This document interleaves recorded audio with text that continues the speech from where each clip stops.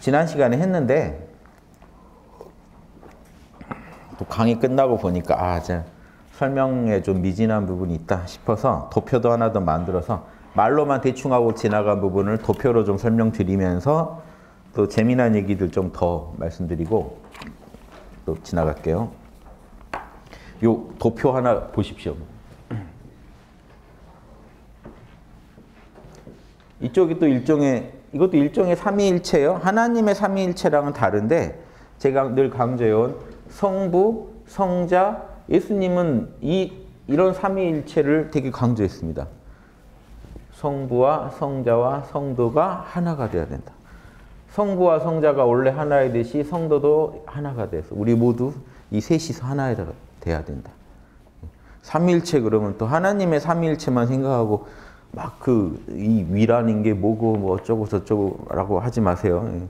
그냥 이 셋이 하나라는 의미로 쓴 겁니다. 이 셋, 이 세 자리가 또 서로 하나로 통합니다. 여기서 삼이에요. 그래서 성부, 성자, 성도. 이게 불교에도 있죠. 이런 게 불, 아 잘못 썼어.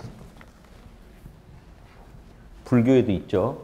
자, 하나님 아버지는 이제 법신불에 해당되고 우리가 모범으로 삼아야 할 스승님인 성자는 부처님, 그 따라가는 부처님의 제자들은 승, 승이죠. 불법 승이 하나다. 이걸 삼보라고 그러죠. 세 가지 보물. 이 기독교의 삼보입니다. 성부, 성자, 성. 성령은 이제 성부 쪽에 넣어야죠. 왜냐하면 성령, 성부의 영이니까 성령은 성부, 성자, 성도. 그럴 때 우리도 한, 우리도 당당하게 들어가는 거예요. 우리도 앞에 성자가 붙는다는 거예요. 그러니까 이게 성도를 성도를 세인트라고 불러요. 세인트 성자예요. 성자. 한명 한 명 말할 땐 성자예요. 무리로 성도, 무리도자 써서 성도 그런. 성자들의 무리란 소리예요. 여러분 그러니까 하나님의 자녀는요 그냥 성자예요. 성자가 된 거예요. 그러니까 지금 이, 이 아들 자자가 아니라 놈 자자 써서 성, 성자가 된 거예요. 성스러운 사람이 돼버렸거든요. 근데 사실은 이 아들 자자랑도 통하죠. 왜? 우리도 형제니까. 근데 이제 그좀 위격을 구분해서 우리가 말씀 나눌 때는 진정한 아들, 하나님의 진정한 아들, 하나님 아버지, 진정한 아들. 근데 이제 형제들. 그 이제 마지를 따라 배우려고 닮으려고 노력하는 형제들. 온전한 아들 노릇은 못하니까 우리가 부부는 닮았으니까 성자 정도로 하자고요. 이해되시죠? 성도. 왜 성인 성자로 하나로 통하냐? 이 하나 셋이 다 하나로 뭐로 통해요? 다 한 성령이잖아요. 한 성령으로 통해 있기 때문에 성부의 성령이 임해, 임해 있는 게 성자와 성도 마음 안에 임해서 성스럽게 만들어 버린 거예요, 우리를. 에고가 성스러운 건 아닌데, 그쵸? 우리 내면에 임해 계신 아버지의 영인 성령이 성스럽기 때문에 우리도 함께 성스러워진 거죠. 그래서 우리 안에 있는 이 성령이 우리의 영의 역할을 하니까 우리의 혼과 육이 성령 믿고 까부는 겁니다. 이 생각, 저 생각, 생각, 감정, 수많은 생각, 감정, 오감으로 우리 마음을 물들이고 우리 육신을 운영하고 하는 게 다 이 이 영에 근거한 건데 우리 영이 뭐냐 알고 보니 성령이더라는 거예요. 다 성령에서 우리가 힘 받아서 움직이는 겁니다. 성령에서 다 그 기운 받고 이그 지혜를 얻어가지고 우리가 이렇게 살아가고 있는 거예요. 지혜도 권능도 다 거기서 오는 겁니다. 아시겠죠? 그래서 우리가 이, 이 성령이 우리 안에서 힘을 행사하기 시작했다 이겁니다. 성도 그러면요. 성도 그러면 성도에는 지금 여러 단계가 있겠죠. 칭의, 성령만 깨달은 양반, 성령이 내 안에 임해 계신 양반, 칭의. 아무튼 나는 이제 하나님을 만났으니까 의로워졌죠. 칭의. 성화. 이 성령 따라서 혼까지 이렇게 정화된 양반. 성화. 영화. 지금 요한계시록에서는 흰 옷으로 대표하고 있죠. 흰 옷까지 입었다 그러면 이게요. 영적인 육신까지 얻었다 합니다. 그러면 영주권 딱 하느님이 알차게 뽑아, 뽑아서 쓰시는 것 같아요.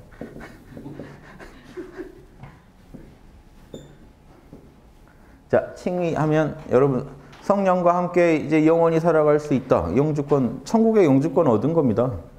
천국 사람이에요. 성령이 성령이 임해 있으면 천국 사람이죠.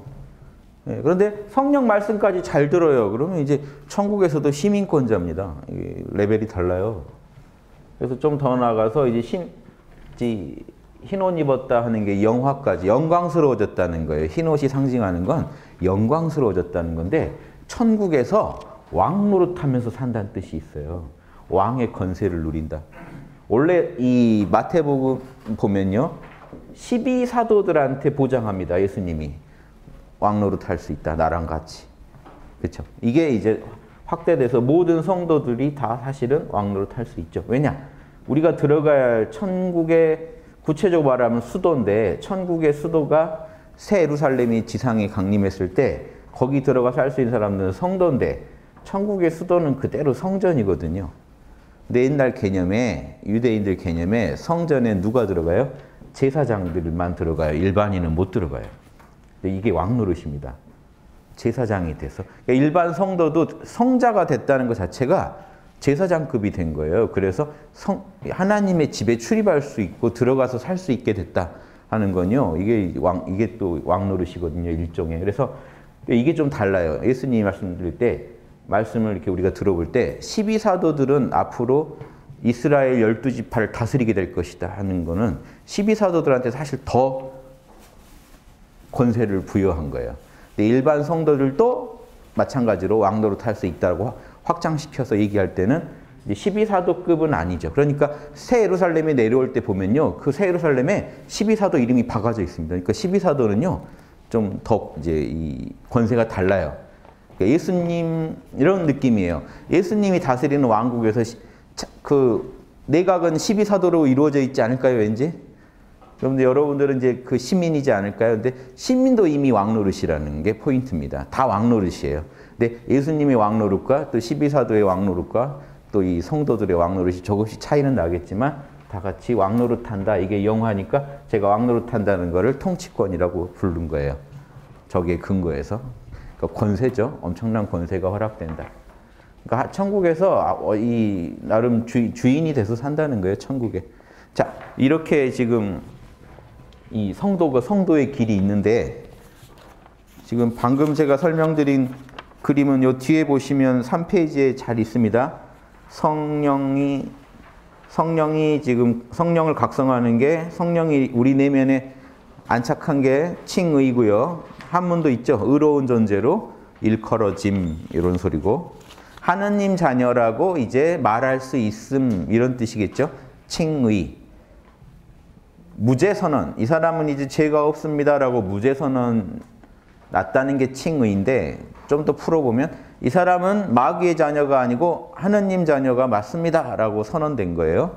자, 그 다음에 성화까지 나아가시면 여러분 혼의 성화입니다. 혼이 닦여서 성화에 나아가게 되고 육의 영생을 얻게 되면 영화를 얻게 됩니다. 자, 여기까지 정리하시죠. 제가 성경 신약 신약 전체를 관통해서 이 논리가 먹히나 안 먹히나 미리 다 조사해봐서 다 먹힌다는 걸 확인하고 말씀드리는 거니까 신약 어디를 펴서 보셔도 이 논리 논리에 맞게 다 설명이 돼 있을 겁니다. 제가 미리 그건 장담 드리고요.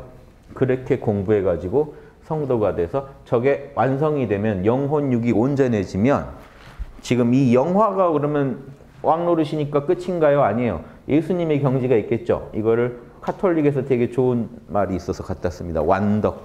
덕이 완성되는 때가 있어요. 그럼 예수님 경지예요. 완덕은.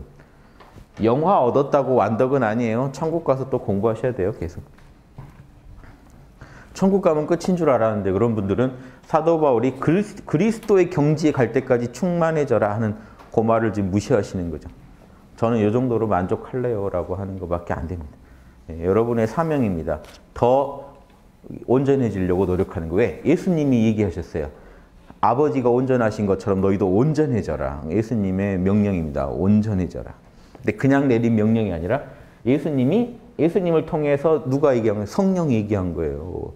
인간들더러요. 온전해지라고 그랬어요. 그럼 온전의 끝은 없죠. 더 노력해야죠. 더 노력해야죠. 그렇죠? 이런 것까지 다 읽어내셔야 되니까 제가 좀 부가적으로 계속 말씀을 붙이는 게 어, 교회 다닌 분들이 간과하기 쉬운 부분들을 제가 계속 보강해 드리는. 음, 영화에서 끝인가? 온전히 온전해져야 되는 단계입니다. 그래서 이 완덕이라는 건 다른 게 아니라 온전해지는 단계. 우리가 그리스도처럼 온전해져야 됩니다. 원래는 아버지처럼 온전해져야 되고 아버지를 닮아서 온전해지신 그리스도가 계시니까 인간 중에 계시니까 우리가 인간이니까 인간 중에 누구를 롤 모델로 해야 돼요? 예수님을 모델로 해서 우리도 같이 온전해져야 됩니다. 그래서 이 온전한 존, 이 지금 불법승에서도 부처랑 승의 차이는 뭡니까? 온전 진리를 온전하게 구현하신 분, 온전하게 구현하려고 노력하는 사람들. 단, 단 이, 이분들도 우리 자신들 안에서 이 불성과 이 진리를 찾은 양반들이어야 돼요. 그래야 보물이 들어가죠. 그냥 머리 깎고 나 출가했으니까 승려니까 나한테 귀의하라 안 됩니다. 불경에서는 철저히 금해요. 대승불교에서는 일지보살 이상입니다. 여기 삼보의 승려로 들어가려면 네, 아시겠죠? 네. 일지보살 이상 아니면 이제 최소 일주 이상 참나 안주는 해야 되고 나아가서 제대로 된 견성을 해야 되고 초견성이죠. 초견성을 하건 제대로 된 견성을 하건 해야 돼. 재밌죠? 이, 이 칭의가 불교식으로 말하면 이게 초견성이에요. 성화가 이제 견성을 제대로 한 경지. 영화는 이제 그 법신 법신을 법신의 몸인 의성신을 낮출 수 있는 경우. 초견성, 견성, 의성신 이렇게 이해하면 법신의 몸이에요. 의성신이라는 거. 그러니까 이 불성의 몸을 만들었다고 해서 의성신을 얻었다 그러면 이지보살에 이제 해당됩니다. 재밌죠? 재밌죠 하는 부분이 이제 교회 교회 분들이 제 강의 듣다가 이런 부분이 이제 힘드신 부분이죠. 잘 가다가 갑자기 일지, 일주 이런 거 나올 때. 근데 놀랍게도 엄청난 얘기를 제가 하는 게 아니라 매일 매번 일주, 일지 이런 얘기밖에 안 해요. 그러니까 강의 몇 강만 들으시면요, 여러분들 입에서 어 저기 교회 모태 신앙인 분 입에서 어 일주가 칭이야, 일주가 견, 초견성이래 이런 말 나올 곧 나옵니다. 방언 터집니다. 왜냐 같은 얘기를 계속 하고 있으니까 막 새로운 얘기를 늘 하는 게 아니에요. 그러니까 기독교 분들도 좀 들으세요. 그러면 재밌어져요.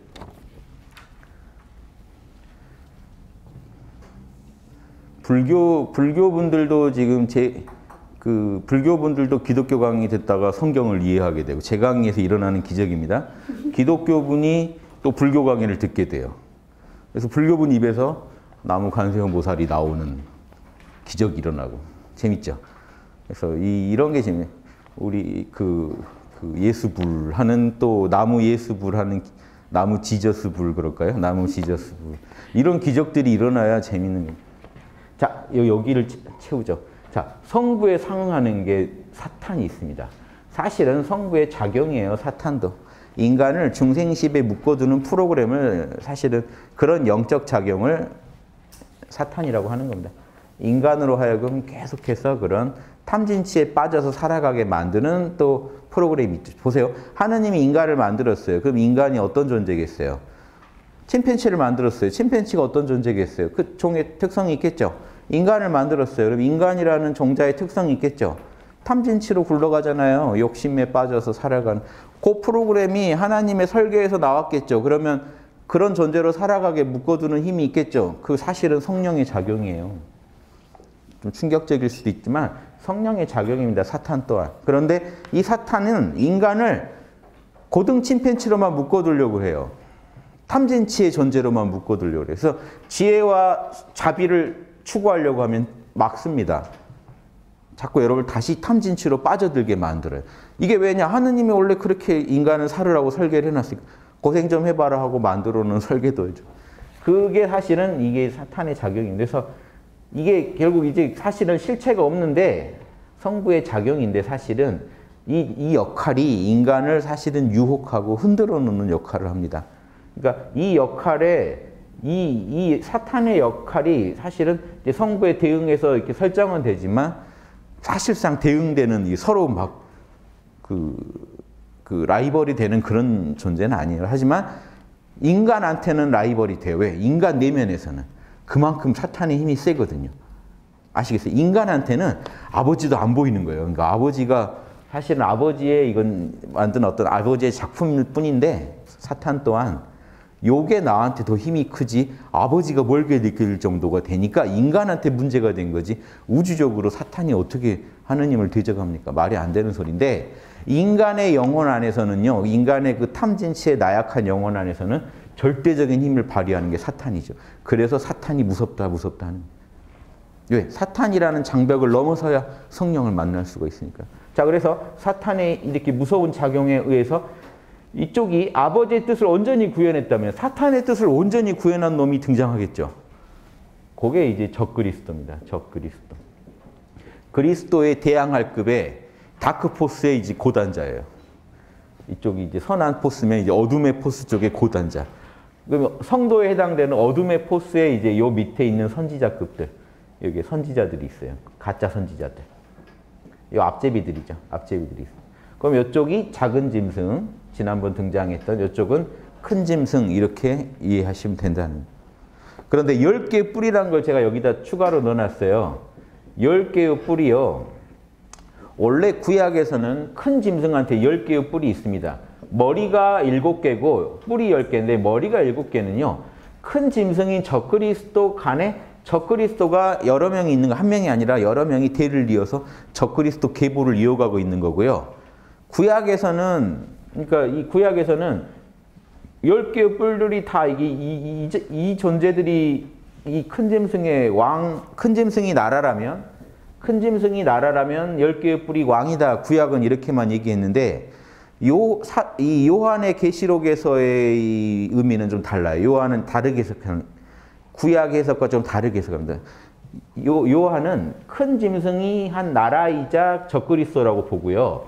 그 나라에 있는 이 10명의 왕이 있는데 이 7명도 또 왕이거든요. 그러니까 왕이 지금 두 계보가 있는 거예요. 그런데 이 계보를 그리스도의 계보, 적그리스도의 계보로 보고 사도 요한의 입장입니다. 10개의 뿔은요. 이 이 큰 짐승의 이 왕이죠. 이쪽이 적그리스도면 도와가지고 하는 참모급으로 보는 거예요. 참모급으로. 그래서 이 친구들도 다 왕 노릇한다. 그래서 왕은 왕인데 자, 이 존재들은 뭐에 해당되느냐? 이쪽으로 치면 12사도에 해당. 예수님의 수족들이에요. 적그리스도의 수족들이 큰 짐승에 뿔이 10개가 나 있는 거예요. 그 뿔 10개를 구약에서는 비슷한 짐승 얘기를 할 때 이 짐승 얘기의 원형은 구약에서 나와요. 구약에서 짐승 얘기할 때 그 뿔이 10명의 왕이다. 이렇게 얘기했는데 신약에 와서는 머리 7개가 7명의 왕이고 그래서 일곱 명이 이제 있었고 앞으로 나올 여덟 명이 이제 우리가 말 우리가 요한계시록에서 이제 등장할 적그리스도입니다. 적그리스도고 요 열 개의 불은 이 적그리스도를 도와서 왕노릇 하는 존재들이다 하니까 12사도급으로 본 거예요. 사도 요한. 구약이랑 살짝 달라지는 겁니다. 스토리가. 그러니까 우리 뭐만 알면 돼요. 구약, 신약 중요한 게 아니고 적그 사탄의 뜻을 온전히 구현하려는 최고의 소시오패스들이 등장하는데 이, 이, 이 나라일 수도 있고 이 리더일 수도 있는 이 존재들이 그 지상에 있고 그 참모에 해당되는 12사도에 해당되는 또 수족들이 있고 또 더 앞제비들로 작은 짐승들이 또 있어가지고 거짓 선지자들이 또 그 적그리스도를 받들고 있다. 이런 느낌 아시겠죠? 그래서 적그리스도가 꼭 한 명이 아닙니다. 여럿이 등장한다는 게 밑에 봐보세요. 어, 마태복음에 있는 말씀이 지난 시간에 제가 이거 못 읽어드려서 추가로 넣어놨습니다. 예수님 말씀이에요.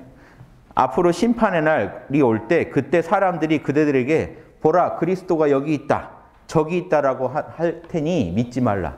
예수 그리스도라고 주장하는 놈들이 자꾸 나올 것이다. 그 자들이 사실은 가짜 그리스도다. 적 그리스도죠. 그들은 거짓 그러니까 그들은 거짓 그리스도들이고 거짓 선지자들이 일 것이다. 그래서 그들이 일어날 거다. 거짓 그리스도들과 거짓 선지자들이 일어난다. 이게 큰 짐승이고요. 거짓 그리스도들이 거짓 선지자들이 작은 짐승들로 지금 요한계시록에서는 등장한 거예요. 그러니까 뭐 한 마리 등장했다고 이 단순히 하나일 것이다 이렇게 생각하시면 안 되는 거예요. 짐승들이 등장 하나 하나 등장했으면 한 명이겠지 이런 게 아니라 상징적인 거예요. 그래서 수많은 그리스도 적 그리스도들과 수많은 거짓 선지자들이 등장할 것이다. 그래서 예- 예수님이 뭐라고 하셨죠? 큰 표적과 기적을 보여줄 거다. 하느님이나 할 것 같은 거를 막 할 거라는 거예요. 이쪽도 dark force 쪽에서 레벨이 있는 소시오패스들이라 신통을 부린다는 거예요. 신통을 부리면서 사람들을 어디로 끌고 가겠어요? 우상 숭배와 물질, 이 물신 숭배로 끌고 가겠죠. 지금 이 자본주의 사회의 제일 문제점이 뭡니까? 이제 우상 숭배죠. 하나님을 모르고 거짓 신들을 섬기며 그 거짓 신들 중에 하나가 사실은 물질이죠. 물신 숭배. 물질이면 최고다는 쪽으로 가죠. 요한계시록이 경고하고 있는 게 두 개입니다. 정신적인 타락. 정신적으로 다른 신을 모시는 거. 첫째. 두 번째. 물질, 물질에 빠진, 쾌락에 빠지는 거. 물신 숭배. 이 두 가지가 이 요한계시록에서 그 음행이라고 하고요. 음행. 그러니까 이게 바람났다는 거죠. 하느님 아닌 그러니까 우리 우리 인간을 여성으로 보는 거. 인간 모두가 이 하나님의 온전한 신부 같은 존재가 돼야 되는데, 그렇죠? 인간들이 온전한 신부가 돼야 되는데 이런 의미예요. 하나님의 신부로 말하면 이 인간들은 다 신부가 되고 또 예수 그리스도를 또 신랑으로 말하면 또 이제 교회 의 구성원들이 또 신부가 되고 이런 개념입니다. 그래서 이 아무튼 우리는 온전한 하나님의 그리고 그리스도의 신부가 돼야 되는데 자꾸 바람을 핀다는 건 다른 신을 모신다는 걸 말해요. 그 음행과 물질적인 타락을 자꾸 같이 얘기합니다. 그러니까 결국 돈, 돈, 돈 하면서 우리가 물질에 빠져드는 거. 요 두 가지가 우리를 그 이 말세의 아주 핵심적인 요소니까 우리를 타락시키는 주, 주된 요소들이겠죠. 그래서 그렇게 끌고 가는데 선봉에 선 친구들이 이 적그리스도와 그 부하들인데 기적을 보여주면서 끌고 간다는 거야. 꼭 왜? 사람들이 그리스도인 것처럼 생각하게 만들면서 끌고 간다는 거예요. 자, 기적이 중요한 게요. 예수님이 기적을 보여주셨죠. 죽었다 살아나는. 거기에 상응하는 우리야말로 답을 갖고 있다면서 가짜 그리스도들과 선지자들이 죽었다 살아나는 기적을 팔 거라는 그러니까 예수님급의 기적을 팔 거라는 거예요. 자기들이 인류에 죽었다 살아난다는 게 인류의 영생의 문을 연 예수님의 최고의 중요한 기적이죠. 인류도 다 같이 영생할 수 있다는 걸 보여준 거예요. 직접 목도하게 만들어준 사건이에요. 예수님 본인은 진즉 살아서 영생을 얻으셨지만 굳이 죽었다 살아나시는 그런 이벤트를 하신 건요. 인류 모두도 가능하다는 걸 보여주려고 한 겁니다. 그러니까 이 적그리스도도 흉내를 내요. 보세요. 저기 1, 13장 1번 보면 내가 보니 바다에서 한 짐승이 이제 적그리스도죠. 짐승이 나왔는데 뿔이 10개 달렸더라. 그거는 12사도와 상응하고요. 그리고 머리가 7개더라. 7개가 이제 적그리스도를 상징합니다. 그러니까 짐승 안에서도 또 나뉘는 거예요. 그 뿔에는 10개의 멸류관이 있는데 그 머리들에는 참남한 이름들, 하느님을 모욕하는 그런 이름들이 써 있었다. 이게 지금 그러니까 이 우리 이 중생들 사이에서 신을 부정하려는 소리를 막 하고 있는 것 자체가 이게 참남한 소리들이죠. 신을 부정하고 물질이 최고야 이렇게 얘기하는 거 안에 음행도 들어있고 이런 물질적인 타락도 들어있죠. 이렇게 끌고 가려는 존재들이기 때문에 그런데 일곱 개 머리 중에 하나가 상처를 입고 죽게 된 것 같았는데 치명적 상처가 났자 온 땅 이상이 여겨 이게 그리스도인 줄 안 거예요. 부활한 부활한 존재로 안 거예요. 어 죽은 죽은 줄 알았더니 살아났어? 이게 지금 부활을 상징하는 겁니다. 예수님의 부활에 상응하는 거죠. 그러니까 우리 이 그리스도인 것처럼 보이려고 이렇게 부활을 했다 하는 이런 걸 보여준 거예요. 사람들한테 기적을 부활급의 기적을 보여주니까 온 땅이 이상히 여겨 짐승을 따랐습니다. 내가 보니 또 다른 짐승이 땅에서 올라왔는데 바다가 더 깊은 어둠이죠. 그러니까 큰 짐승은 바다에서 나오고 땅에서는 이제 땅에 있는 또 수많은 그 인간들 중에 거짓 선지자들이 나왔다는 얘기를 하는 겁니다. 그 작은 짐승이 나왔는데 얘는 뿔도 두 개고 이제 더 약하죠 힘이. 그리고 뭐 하는 짓이 뭐냐? 첫 번째 짐승을 숭배하는 그 일에 이제 열중해 가지고 치명적 상처가 나았던 첫 번째 짐승 이게 부활했다라고 하는 거예요. 우리 선생님 부활하셨다 하고 따르라 하고 경배시키고 하는 사이비 종교 앞제비들입니다. 그러니까 이 아시겠죠? 앞에가 이제 아주 그 사이비 교주급이고요. 교주급과 급에 플러스 12사도급의 어떤 참모들까지 엮어서 얘기할 수 있는 거고 거짓 선지자들은 또 그 아래에 있는 이 또 이런 이 사탄의 이제 그 그 수많은 또 이제 성도들인 거죠. 그 성도들이 등장해서 앞제비가 돼서 경배하게 하는 거죠. 수많은 성도나 사도들이 등장해서 적그리스도와 적그리스도의 아주 수족급들이 있고 또 수많은 이제 성도와 사도들이 또 있겠죠. 적그리 이 사탄 계열에서도요.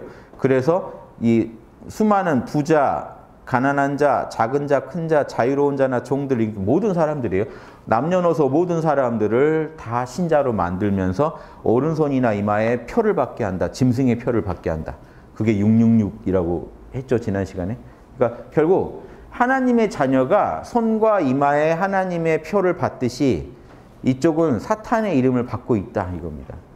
오직 하느님을 저버리고 자 이게 보세요. 아까 제가 말씀드렸지만 겁먹지 마시라고요. 사탄이 막 뿔 달린 뭐가 내려와 가지고 말 안 들으면 막 바로 인간을 찢어 죽이면서 표를 받으라고 막 이렇게 바코드 찍어주고 이런다는 게 아니라 지금 사탄이라는 거는요 인간을 고등 침팬치로 묶어두는 힘이라니까요. 뭔 얘기냐면 지금 여러분이 사시고 계신 곳이 지옥이에요. 헬조선 하잖아요. Hell. 지금 지옥에 살고 계세요. 더 무서운 일이 일어나려나 하기 전에 이미 무서운 일이 도처에 일어나고 있어요. 지금 수많은 욕심꾼들이 사이비 교주들이 여러분을 지배하고 있습니다. 정치 쪽에 경제 쪽에 뭐 사상 쪽에 문화 쪽에 곳곳에 종교 쪽에 여러분을 지금 잡아먹으려는 사이비 교주와 그 앞제비들이 거짓 그리스도들이 이미 넘쳐나요. 수많은 부활과 기적을 보장하면서 지금 끝없이 착취당하고 계시면서 또 뭔 일 있으려나 안 하셔도 이미 여러분은 숱하게 착취당하고 계세요. 좀 센 놈 나와가지고 한 번씩 크게 떠먹고 좀 작은 놈 나와서 영양껏 떠먹고 계속 이러고 있는 겁니다. 착취 또 착취당하는 게 그 아주 이제 습이 되신 분은 이쪽 가서 착취당하고 저쪽 가서 또 새 마음 먹고 또 착취당하고 다시는 그러지 말아야지 하면서 또 착취당하고 이렇게 지금 살고 있는 거예요. 그게 짐승의 표를 받고 있는 거예요. 지금 이 말이 왜 무섭냐?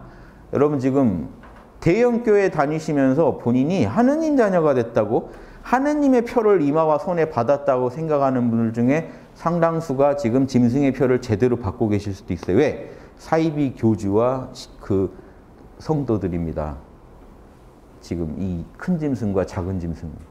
종교적으로 말하면. 이게 정치는 다를 것 같으세요? 정치도 똑같아요. 정치, 정치도 결국은 종교 노름입니다. 거기도 교주가 있고 바들이 넘쳐나요. 제가 왜바 현상에 대해서 치를 떠냐면 그곳에 또 다른 또 다른 큰 짐승과 작은 짐승의 노름이 시작돼요. 그래서 국민을 위해서가 아니라 오직 자기들을 위해서, 자기들 팬을 관리하기 위해서, 자기들 내부적으로 예, 국민들을 착취하기 위해서 잘못된 신념, 하느님보다 더 귀한 게 있다는 다 잘못된 신념, 그리고 이 국민의 고혈을 짜내는 착취. 이게 이루어지고 있으면 이게 사이비 교가 열린 거죠. 그래서 여러분 사이비 신자가 되면요. 왜 바람난 여성에 비유한 자 사이비 신자가 되면 사이비 신자가 바람난 여성에 왜 이스라엘에서 비유했느냐? 비유가 절묘한 게 있어요. 일단 그러니까 내가 내 올바른 짝이 아닌 잘못된 짝을 만나고 있죠. 그 다음에 그 내 새끼들 줄, 줄 돈까지 다 끌어다 거기다 갖다 바치고 있습니다. 자, 물질적인 이 또 이 타락이 이어져요. 정신적 타락과 물질적 타락이 함께 갑니다. 그럼으로써 이, 이, 이 뭐죠? 우리가 착취당하는 거죠. 이 사이비 신자들의 모습 이게 이스라엘에서 계속 경고용 하나님을 안 모시고 다른 신을 모시는 자들이 하고 있는 짓이 보면 정신적으로 넘어가고 물질적으로 국민의 고열을 짜내 가지고 왕들이 우상 숭배한다고 다른 나라 다른 그 종교 단체에다 갖다 바치고 있는 거죠. 이, 이런 현상들을 지적해요 하늘이 여호와가 그래서 이 이런 부분에 대해서 우리가 심각하게 생각해 보실 필요가 있다. 제가 따로 시간을 더 내서 이 말씀 한번 더 드린 이유가 남의 얘기로 알지 마시고 앞으로 올 얘기일 것이다가 아니에요. 계속 일어나고 있는 일이에요. 이 일이 더 세게 올 거다는 건 말이 돼도 없던 일이 온 건 아니에요. 계속 일어나고 있는 일이에요. 예, 적그리스도들도 계속 일곱 명의 왕이 있다. 벌써 이게 대를 이어서 인류는 착취당하고 있다는 거예요. 앞으로 올 왕은 여덟 번째다 그러면 앞에 일곱 명한테 착취당한 건 이건 뭐 괜찮습니까? 아 아니구나 아직 안 왔구나 이렇게 되, 는 일이 아니죠. 이런 식으로 우리가 예, 착취당하고 있습니다. 그래서 짐승의 표를 받는다는 게 별게 아닙니다. 나는 하나님 믿는 교회인지 알고 들어갔는데 알고 보니까 사이비 교주 하나 위한 거고 그 교주 빠는 빠들이 앞제비가 돼가지고 이 선량한 사람들을 착취하는 혹세무민하는 곳이었어요. 내가 거기 들어갔어요. 짐승의 표 제대로 받은 거예요. 그래서 거기서 정신을 지배하니까 여러분이 뭐 물건 하나 제대로 여러분 정신으로 사고 팔 수가 없죠. 그게 나온 게 물건 하나 사고 팔 수 없을 것이다. 이런 내용들이 왜 나오냐? 여러분 모든 생활을 그 사이비 교주가 지배하는 삶이 펼쳐지는 겁니다. 거기에 국가가 그렇게 하라고 할 때도 목숨 걸고 저항해야 되는데 이 양심 진짜 양심을 지키는 성령을 따르는 사람들이라면 저항해야 되는데 그런 소소한 단체 하나라도 못 이겨내가지고 지고 있으면 되겠습니까? 그러니까 영적 전쟁에서 순교한 자들이 이제 14만 4천을 채울 거라는 건요. 그런 데서 과감하게 빠져나오고 아니라고 하고 그 사람들하고 투쟁하는 사람들이 하느님 천국 갈 하느님 자녀들인 거예요. 그러니까 역으로 생각해 보시면 지금 우리 종교가 진짜 천국 가는 종교야. 우리 교주님이 그리스도야라고 믿고 있는 그 단체에서 사실상 목숨 걸고 항거할 사람이 천국 가는 거지. 그 단체에 있는 사람이 천국 가는 게 아닐 수 있다는 아, 그 단체가 천국 가는 단체 맞을 수도 있지만 아닐 수 있다는 생각도 해보셔야 된다는 거예요. 지금 이 여기 경전 성경대로 읽으면 그렇게 읽히잖아요. 어, 너, 너 안 믿으면, 너 안 믿으면 죽여 해도 안 믿고 죽어서 천국 갈 사람들. 그런 사람들이 앞으로 이제 14만 4천 나올 거다. 요 얘기. 짐승의 표를 끝까지 거부한 사람들이라는 게 결국 지금 이 시대, 이 시대, 이 사회를 살아가면서 지금 뭐 나라가 우리, 우리들한테 종교 믿으라고 강요하진 않죠. 하지만 종교, 정치, 경, 경제, 뭐 모든 삶의 모든 요소에서 우리를 착취하려고 덤비는 소시오패스의 이 검은 손에서 우리가 벗어나야 된다고요. 너 양심만 어기면 양심만 어기면 너를 천국에 보내줄게 하면서 다가오는 수많은 정치인들, 경제인들, 그쵸? 경제인들, 너 입 닫고 내 말만 잘 듣고 비양심적인 일 잘 좀 해주면 너의 너의 가족까지 행복을 보장해 줄게. 거기 끼어 가지고 아무 말도 못 하고 따라가는 대기업 직원도 짐승의 표 제대로 받은 거예요. 그쵸? 그런 국민들, 정치인들의 빠가 돼 가지고 국민의 소리를 무시하고 우리 정치인 잘 되게 하겠다고 덤비는 잔, 그런 그 추종자들, 그 짐승의 표 받은 거예요. 우리 교주님만이 최고다. 거기 또 표 받은 거예요. 이런 얘기를 좀 실감나게 해드리고 싶었어요. 어, 등에 좀 소름 돋게. 자, 혹시 나도 이럴, 혹시 나도 하면 꽤 맞을 겁니다. 제 강의 들으시다가 설마 나도 아마 맞을 확률이 되게 높아요. 그러실 수 있어요. 네. 어느 단체 난 어떤 어느 단체도 가입 안 했어. 그래도 이 세상에 이 세상을 지배하는 사탄의 영에 속아서 수많은 이런 거짓 선지자들의 가르침에 귀 기울이고 내 삶의 근거로 삼고 그쪽에서 나를 부르지 않았어도 내가 알아서 그들의 가르침에 내 삶을 맞추고 있는 것도 이미 짐승의 표 받은 거. 그들의 허락에 의해서 물건 사고 팔고 사, 살아가고 인간관계 맺고 있는 모든 존재들 다 짐승의 표 받은 거예요. 지금. 욕심꾼들한테 휘둘려 가지고 성령에 의거해서 황금률로 인간관계를 맺지 못하고 사탄의 영에 지배받으면서 왜곡된 인간관계를 맺고 계신 모든 분들은 지금 짐승의 표를 단단히 받으신 거예요. 그런 분들은 천국 갈 수가 없다는 겁니다. 그래서 이걸 뭐 늘 예수님이 늘 하시던 얘기 그대로 하는 거예요. 주여 주여 하는 니네들 기적 부리고 신통 부려봤자 아버지 뜻대로 살지 않으면 천국 못 가. 이 얘기를 지금 극적으로 써놓은 것 뿐이에요. 짐승 등장하고 막 머리 뿔 달린 사탄도 막 떠오르고 막 이러면 막 머리, 뿔이 10개 달렸다고 그러고 머리가 8, 7개라고 그러면 막 재밌죠? 영화 한 편 재밌게 보시면서 여러분 도리도 배우셔야 돼요. 이게 영화 한 편 보듯이 보시면서 진리도 배워야 돼요. 여러분 신과 함께 보고 나면 죄 안 지어야지 하는 마음 드시죠? 이 얘기 듣고 나시면 결국 들어야 될 마음은 성령 뜻대로 살아야지. 네. 내가 아무리 지금 힘들어도 성령 깨어서 성령 안에서 선악을 따지면서 성령 안에서 양심을 추구하며 살아야지. 이게 답니다. 별다를 걸 지금. 이걸로 여러분 또 겁을 줘가지고 사이비 교주들이 제일 좋아하는 내, 내용들이에요. 이런 게 또. 이걸 가지고 또 큰 짐승, 작은 짐승들이 이 성경의 이 구절을 들고 와서 또 여러분을 현혹시킨다니까요. 봐라. 이 세상에 이제 이제 환란이 온다. 니네 큰일 났다. 우리 교주님만 따라야 된다. 우리 교주님 부활하시는 거 봤지? 막 신통 부리는 거 봤지? 따라와. 거짓 선지자들은 또 이런 식으로 여러분을 또 유혹해서 천국 가야 돼. 앞으로 큰일 나. 이제 큰 짐승 작은 짐승 내려오고 표 받으면 너희 막 이제 표 이제 찍히면 이제 천국 못 가. 그러니까 빨리 우리 교주님 밑으로 들어와야 살아. 이런 식으로 또 팔아먹을 겁니다. 그 사람. 소시오패스는 어, 돈만 되고 이득만 되면 가족도 팔아먹을 사람들, 뭐든지 할 사람들이기 때문에 좋은 구절도 그들의 손에 들어가면 다시 또 악마의 도구로 쓰입니다. 자, 이런 것까지 아시고 이제 이 구절을 읽으셔야 돼요.